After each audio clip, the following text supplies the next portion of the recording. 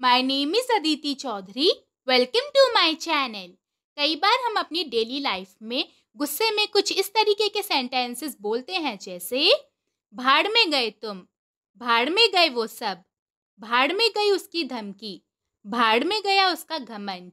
आइए देखते हैं कि ऐसे हिंदी के सेंटेंसेस को इंग्लिश में बोलने के लिए कौन सा रूल फॉलो होता है। इसके रूल में सबसे पहले टू हेल्प विद आता है, जिसका सेंस हिंदी में भाड़ में गया से किया जाता है। और लास्ट में उस चीज़ का या इंसान का नाम आता है, जिसके लिए हम बोल रहे हैं कि ये भाड़ में गया या फिर ये भाड़ में गई। और अगर लिख रहे हैं तो ध्यान रखेंगे कि कंप्लीट सेंटेंस को लिखने के बाद लास्ट में एक्सक्लेमेशन मार्क को ज़रूर लगाएँगे, क्योंकि ऐसे सेंटेंसेस में हम एक फीलिंग या इमोशन को शो करते हैं। चलिए अब कुछ एग्जाम्पल्स देखते हैं, जिससे आपको इसका मतलब पूरी तरह से समझ में आ जाए। भाड़ में गए तुम। To help with you to help with you भाड़ में गए वो सब।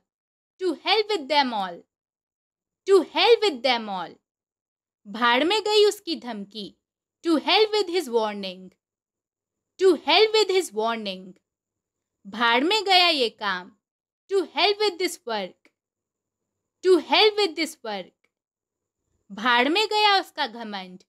To help with her arrogance. To help with her arrogance. भाड़ में गए तुम्हारे बहाने। To help with your excuses to help with your excuses भाड़ में गए तुम्हारे सारे दोस्त। To help with all your friends. To help with all your friends. अब एक सेंटेंस आपके लिए भाड़ में गए उसके पैसे। इसको हम इंग्लिश में कैसे बोलेंगे, यह आप मुझे कमेंट्स में बताइए। आज की वीडियो में इतना ही।